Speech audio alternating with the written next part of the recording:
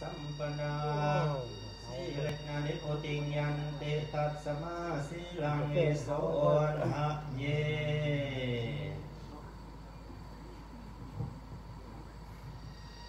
พรหม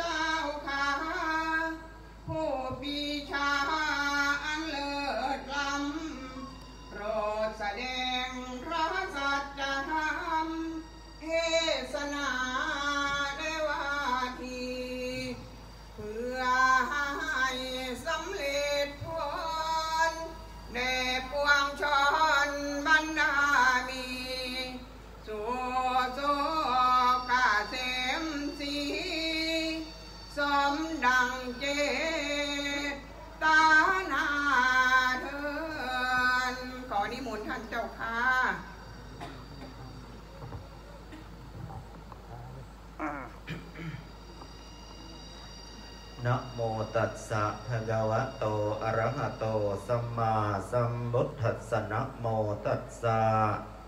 ภะคะวะโต อะระหะโต สัมมาสัมพุทธัสสะนะโมตัสสะภะคะวะโต อะระหะโต สัมมาสัมพุทธัสสะ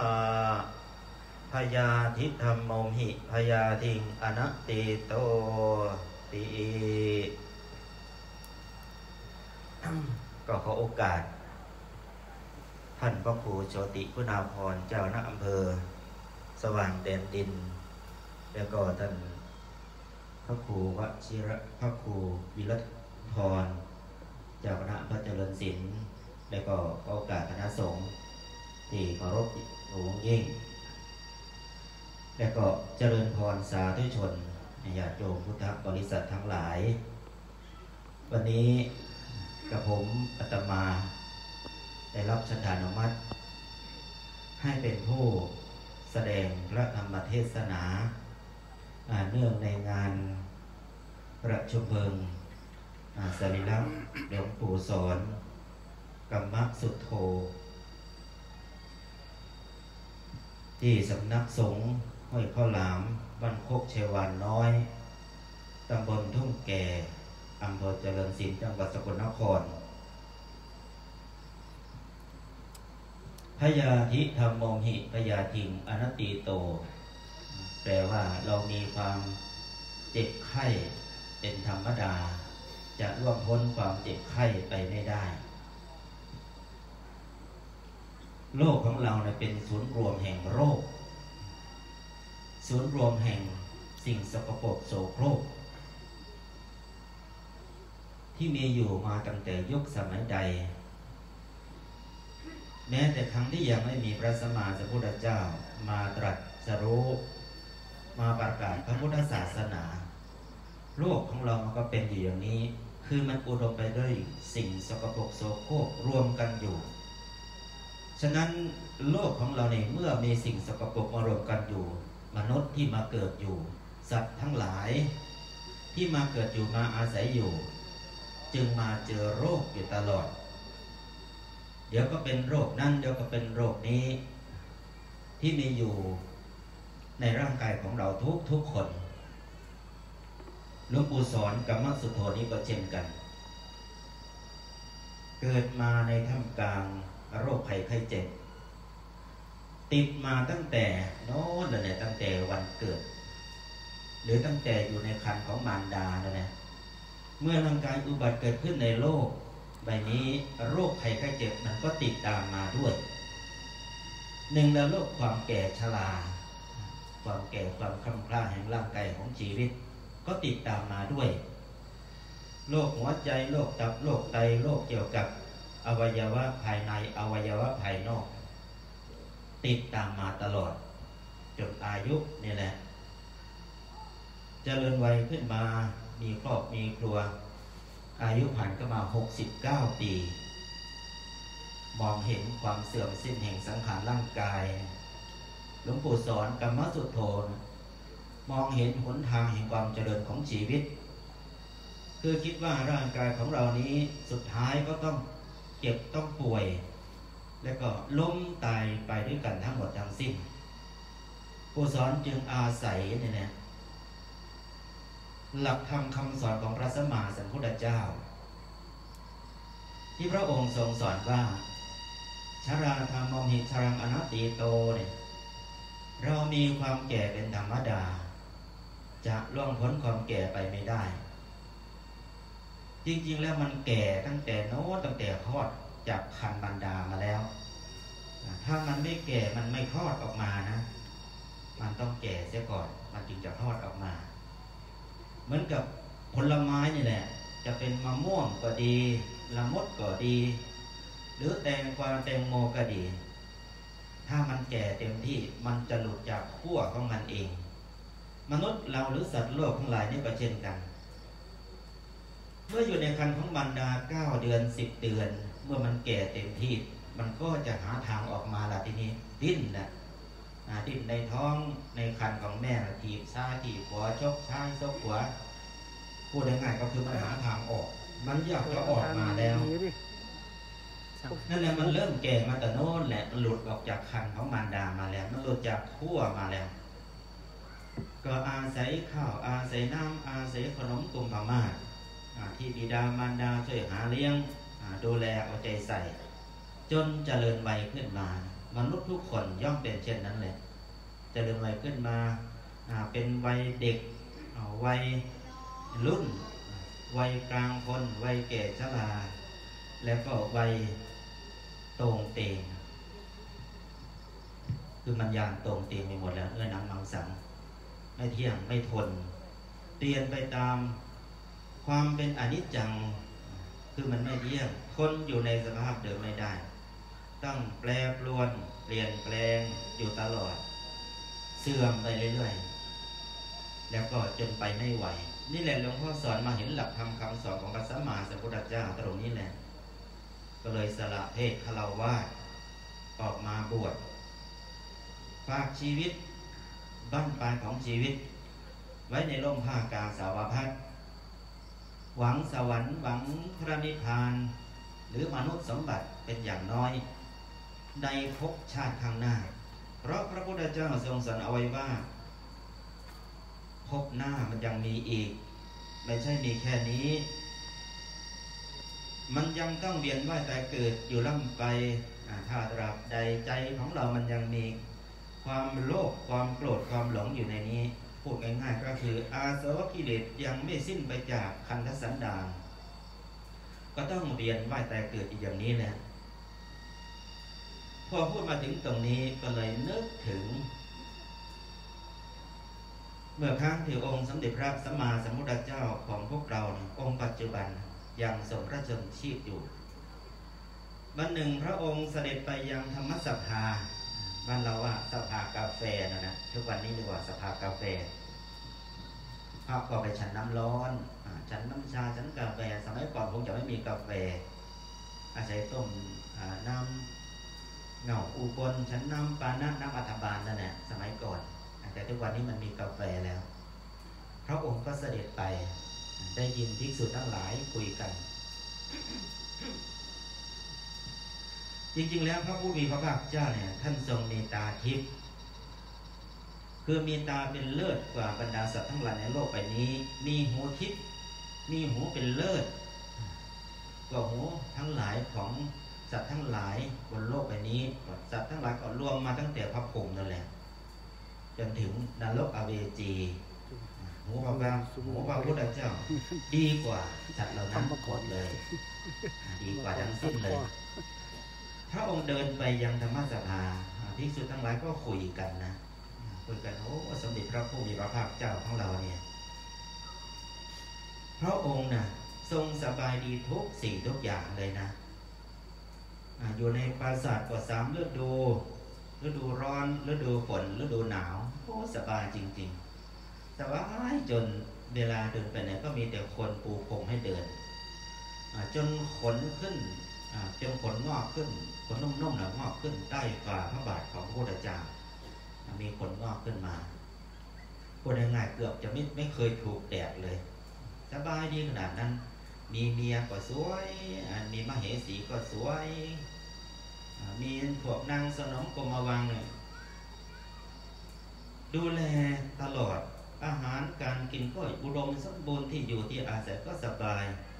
โอ้ยทำไมพระองค์จึงมาบวชนี่ ไม่ธรรมดาเลยนะพระพุทธเจ้าของเราเนี่ยท่านทรงเห็นโทษเห็นภัยของการเวียนว่ายแต่เกิดจริงๆเนี่ยพระองค์จึงเสด็จออกมาบวชสละครอบครัวที่อยู่ดีสบายเนี่ยมาหาทางพ้นทุกข์นี่เห็นไหมเขาคุยกันภิกษุทั้งหลายต่างก็คุยกัน เมื่อพระพุทธเจ้าเสด็จไปถึงก็ทรงทรงตรัสถามว่าทุกคนภิกษุทั้งหลายพวกเธอเนี่ยคุยกันเรื่องอะไรหรือ พระพุทธเจ้าทรงแกล้งถามไปอย่างนั้นแหละจริงๆพระองค์รู้ได้ยินนั่งอยู่กุฏิอยู่ที่กันตักกุดีเนี่ยภิกษุทั้งหลายคุยกันเนาะพระองค์ก็รู้ แต่ทรงแกล้งถามเพื่อเป็นเหตุเท่านั้นแหละภิกษุทั้งหลายก็เลยเล่าตามความเป็นจริงให้ฟังว่าข้าพระพุทธเจ้าทั้งหลายคุยกันเรื่อง ประวัติของพระพุทธองค์นั่นแหละพระเจ้าข่าก่อนที่จะได้ออกมาผนวดมาเป็นพระพุทธเจ้าเนี่ยซึ่งอยู่ดีสบายเสิเหละเกิน แต่ก็ได้ออกมาบวชออกมาผนวด หาทางพ้นทุกข์เพื่อโปรดเป็นอายสัตว์ทั้งหลายพระพุทธเจ้าของเราก็เลยทรงตรัสว่า ดูก่อนภิกษุดทั้งหลาย เราน่ะ เคยสละราชสมบัติ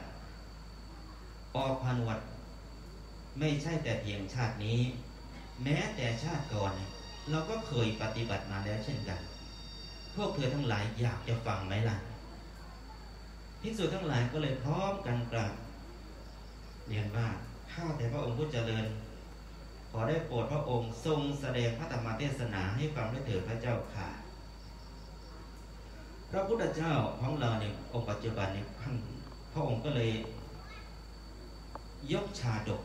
เรื่องมัคคะชาดก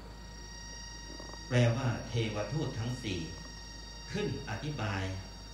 ให้พิสุทธ์ทั้งหลายได้ฟังว่า สมัยก่อนโน้น คือสมัยต้นกับพัตตกับคือกับแรกนั่นแหละ อายุของมนุษย์ยืนยาวนานถึง 252,000 ปี อายุยืนยาวนานมาก มีพระราชาพระองค์หนึ่ง มีพระนามว่ามัคคะเทวราชปกครองเมืองมิถิลา และก็เป็นที่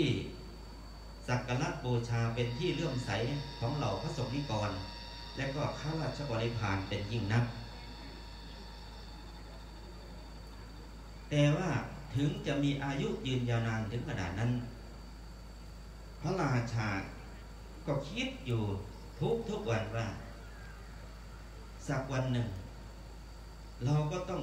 ตายลงไปเป็นธรรมดา เวลาพระองค์ไปยืนอยู่ข้างสระน้ำสระบกกรณีเนี่ย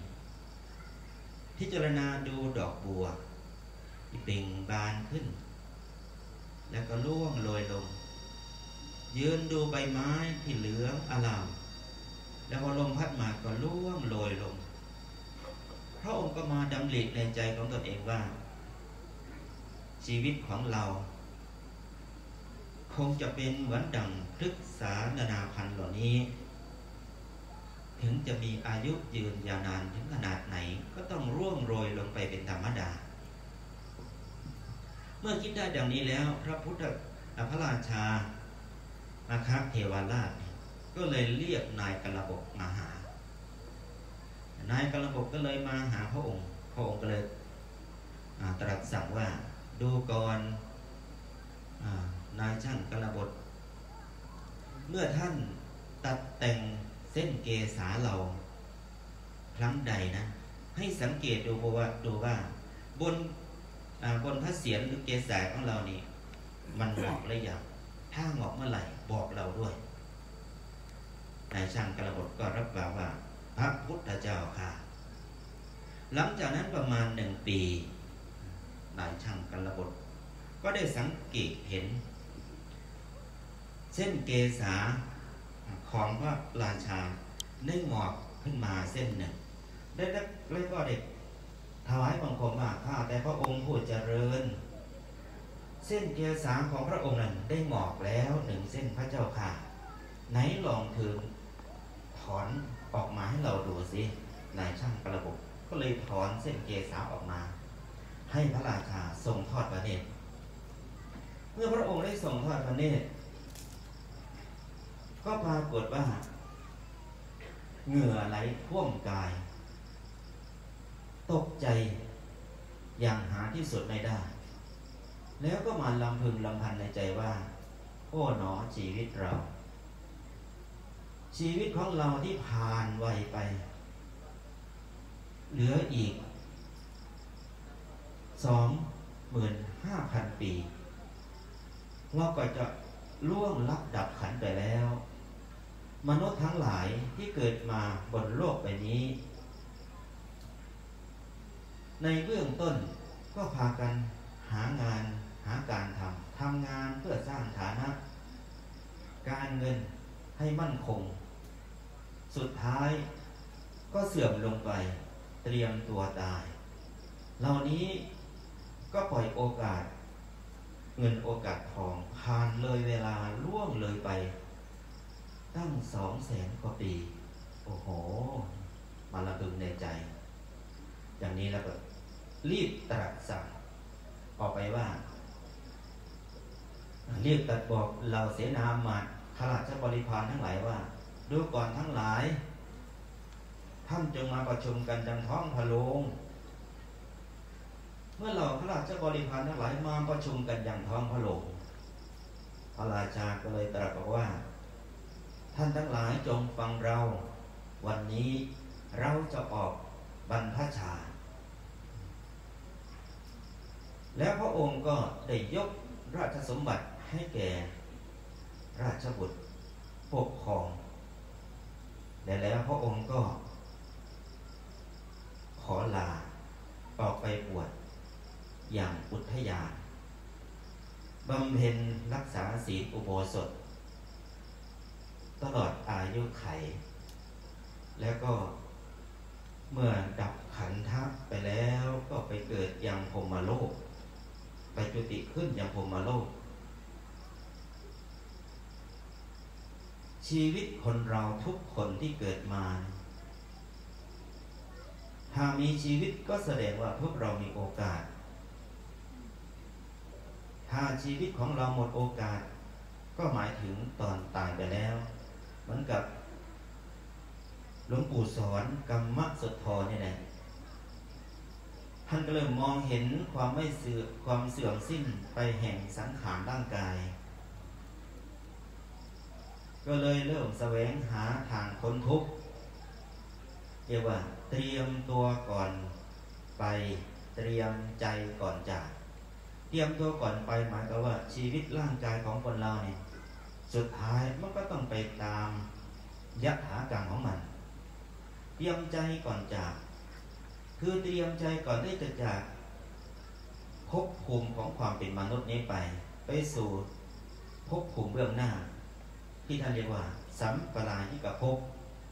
ท่านก็พยายามให้ทานรักษาศีลประพฤติปฏิบัติภาวนาจนสุดท้าย สัจธรรมความจริง ก็ได้ประกาศตัวขึ้นมาอย่างเต็มตัวเต็มที่ คือความเป็นอนิจจัง ความเป็นทุกขังความเป็นอนัตตา ความเป็นอนัตตาคือเป็นไปตามสภาพ คือสภาวะของมันเป็นเองเรียกว่าเป็นอัตโนมัติ เป็นธรรมชาติของมัน ที่มีอยู่ประจำโลกสัตว์ทุกตนสัตว์ทุกตัวที่เกิดมาบนโลก ต้องเจอต้องพบประสบด้วยกันทั้งหมดทั้งสิ้น ฉะนั้นญาติโยมพุทธบริษัททั้งหลาย เมื่อมาได้ยินได้ฟัง หลักธรรมะคำสั่งสอนของพระสมมาสัมพุทธเจ้าแล้ว พวกเราก็จงน้อมเอาหลวงปู่สอนนี่แหละสังขารร่างกายของหลวงปู่สอนนี่แหละมาสอนตัวเราเองว่าปู่สอนนี่ก็เป็นมนุษย์เหมือนกับเรา